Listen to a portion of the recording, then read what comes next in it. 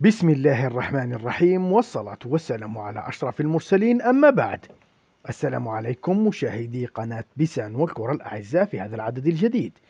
ابقوا معنا وتابعوه للنهاية. أدلى أسطورة الكرة المغربية ولاعب فينورد السابق كريم الأحمدي بتصريحات إعلامية. الأحمدي تكلم عن المستوى الباهر الذي بات نادي فينورد يقدمه.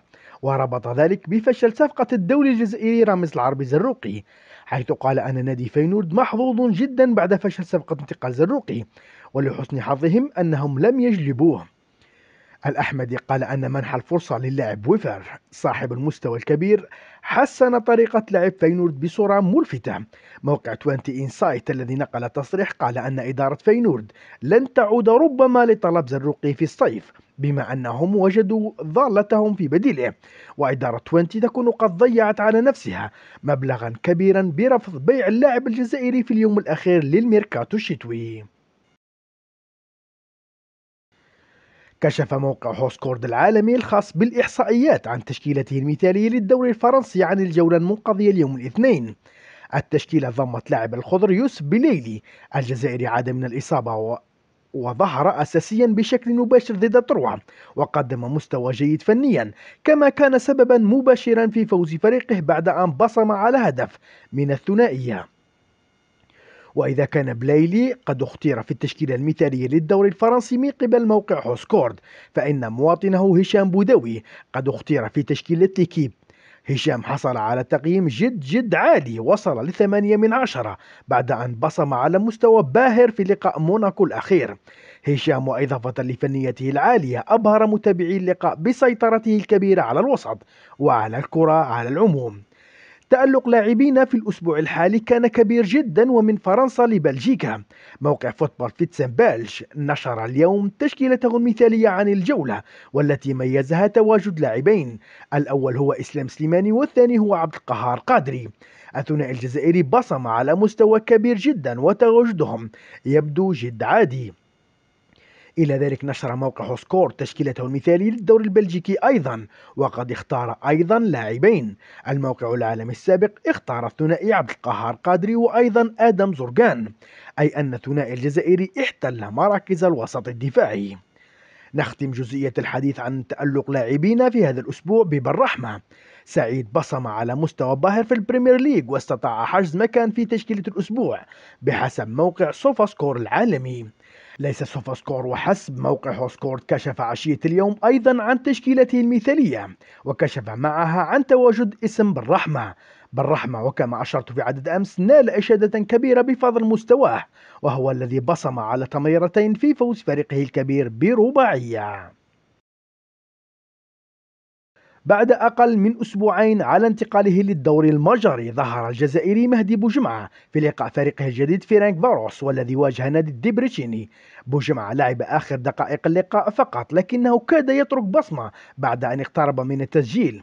ظهور بوجمعة يبدو مبشرا الجزائري سيطمح بدون شك لفرض نفسه والمشاركة أساسيا بشكل دائم. الهدف الأساسي من ضم بوجمعة ليس الدوري المحلي المجري لأنه مضمون حتى قبل أن يبدأ بل المسابقة الأوروبية. بوجمعة سيملك هدفا آخر وهو اللعب للخضر. ولو أن الأمر يبقى صعب لأن الدوري المجري بنظر بالماضي ضعيف وهو الذي ألمح لذلك حين سئل عن عيسى العيدوني الذي اختار تونس في العام الماضي. لم يدرك لاعب الخضر أندي ديلور أن رحيله عن نيس ولعبه لنادي نونت سيكون بهذه الصعوبة. الجزائري لم يتمكن بعد من حجز مكان أساسي دائم رغم لعبه لكثير من اللقاءات كأساسي كما أنه لم يتمكن من تسجيل أي هدف بعد مرور شهر على قدومه. الأمر لم يعد يطاق لأنصار نادي نونت الذين صفروا عليه لحظة خروجه في لقاء ران عشية أمس. ديلور الذي ظهر متأثرا جدا بالتصفير عليه رد على أنصار ناديه في تصريحات عبر صحيفة ليكيب حيث سئل عن رأيه بخصوص صافرة الاستهجان التي لحقته. وهنا رد الجزائري أنها غير مبررة ووصف الأمر بالعار. ديلور برغم رفضه لما قام به أنصار ناديه إلا أنه اعتبر الأمر عادي مضيفا أنه متأكد أن كل من صفر عليه سيعود قريبا لتشجيعه والهتاف باسمه. وعلى صفحات جريدة ليكيب دائما تكلم أنطوان كومبواري مدرب نادي نونت عن الصافرات التي تعرض لها لاعبه الجزائري. أنطوان كومبواري أمسك العصا من الوسط حيث أكد أن تعرض أي لاعب كان لصافرة الاستهجان من أنصاره أمر عادي في كرة القدم. لكن في المقابل قال أنه ضدها وأن ثقته في أندي ديلور كبيرة وكبيرة جداً. لن يكون بمقدور الجزائري حسام عوار التواجد في ورقة لقاء فريقه ليون والذي سيواجه غدا نادي غرونوبل ضمن ربع نهائي كأس فرنسا. غيابات عوار متتالية منذ فترة طويلة والأسباب متعددة. السبب الجديد المعلن عنه هو الزكام. تقارير فرنسية قالت اليوم أن حسام يعاني من نزلة برد حادة. ولن يكون قادرا على الظهور مع بقية زملائه غدا. ولم يعد سرا أن إدارة ليون بقيادة الرئيس جون ميشيل أولاس تحاول إبعاد عوار قسريا حيث تتعدد الأسباب في كل مرة عن سبب غيابه. ولو أن السبب الأوضح هو المشاكل التي يعاني منها بسبب عدم التجديد. تمكن الدولي الجزائري ولاعب أندرلاخت إسلام سليماني من ترك الأثر الأكبر منذ وصوله للدور البلجيكي وذلك بتوقيعه ثنائية في لقاء ستاندار دولياج الذي أقيم سهرة أمس. سليماني قدم ربما المستوى الأعلى له منذ بداية الموسم حيث لم يكتفي فقط بالتسجيل بل كان وراء العديد من الكرات وتحرك بقوة في أرجاء الملعب. وقبل الانطلاق في رصد ردود الأفعال بخصوص مستواه الكبير نشير إلى أن سليماني وبهدفيه ضد ستاندرد دولياج وصل لعتبة المائة هدف في أوروبا. 100 هدف بالضبط. سليماني يكون قد حقق رقما إعجازيا بوصوله لهذه الدرجة. ويكفي أن نشير إلى أن لاعبين فقط من خريجي البطولة الوطنية نجحوا في ذلك وهما الأسطورة رابح ماجر والدولي السابق هلال العربي السوداني. وعطفا على مستواه وثنائيته الأكثر من مهمة نال الجزائري إشادة كبيرة وكبيرة جدا من إعلام بلجيكا على وجه العموم وإعلام إندرلخت على وجه الخصوص. إعلام النادي احتفل بسليماني لدرجة المبالغة وقال أنه أسطورة حية ويجب أن يستفيد منه الفريق. المصادر البلجيكية قالت أن مستوى أوندرلاخت منذ وصول سليماني تحسن كثيرا وعلى المدرب واللاعبين الاستفادة من ذلك. إشادات تأتي مناقضة لما حدث حين توقيع سليماني لأول مرة حيث تم انتقاد الصفقة بصورة كبيرة وكبيرة جدا. وبصورة منتظرة نال الجزائري لقبا شرفيا وهو جائزة رجل اللقاء. الجزائري حصل على نفس الجائزة بحسب كثير من المصادر لكن الأهم وسطها كلها الجائزة الرسمية المقدمة عفوا من الاتحاد البلجيكي. اختيار سليماني أحسن لاعب في اللقاء إضافة إلى تعثيره الكبير.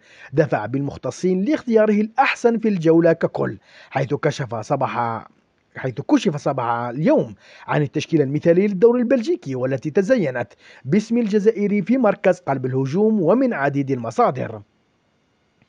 وإذا كان كل ما سبق جوانب مضيئة فيما قدمه سليماني فإن هناك جوانب مظلمة في الأمر. البداية بإشارة السكوت لأنصار نادي ستوندارد لياج. الصحافة البلجيكية رأت أنها لقطة غير مبررة بالمرة كما وصفت تصرفه بالقبيح.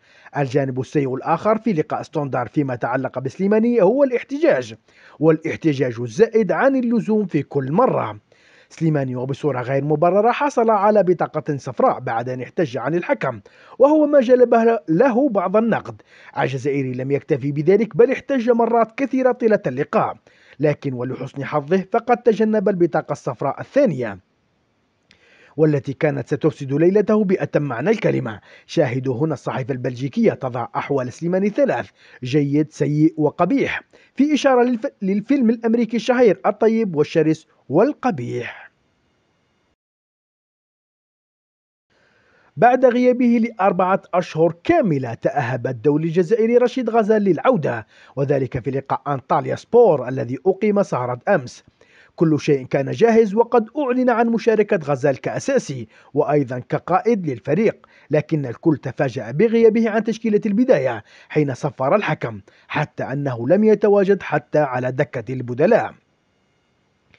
الأنباء القادمة من تركيا قالت أن غزال أصيب في عملية الإحماء قبل بداية اللقاء بقليل وسيعود للغياب وهي ضربة قوية وقاسمة لمعنويات الجزائري إلى ذلك وفي وقت لاحق من اليوم الاثنين كشفت تقارير تركية عن تفاصيل إصابة الجزائري غزال سيغيب بحسب قناة تي آر تي التركية لأسبوعين فقط والأهم من هذا أنه لا علاقة لإصابته الجديدة بالإصابة القديمة. عودة غزال في وقت جد مبكر وقبل مارس جعلت آماله في ولوج تشكيلة الخضر لتربص مارس كبيرة. لكن وبعد إصابته الجديدة فرصه في ظهور باتت معدومة. غزال سيغيب على الأقل أسبوعين ما يعني أن عودته للتدريبات ستكون مع بداية تربص الخضر. بعد تألقه الكبير جدا في الفترة الأخيرة تحاول إدارة باري الإيطالي تجديد عقد لاعبها الجزائري مهدي دورفال. وهذا خوفا من خطفه من الأندية الإيطالية الأكبر. إدارة باري قدمت عرضين على الأقل لغاية الآن لكنها لم تفلح في إقناع وكيل أعماله. هذا الأخير أدلى بتصريحات لموقع توتو باري. تكلم فيها عن التجديد. وكيل دورفال قال أنهم في محادثات متقدمة جدا مع إدارة النادي ولا توجد أي مشاكل مع الإدارة مضيفا أن العلاقة معهم ممتازة واللاعب مرتاح في ناديه.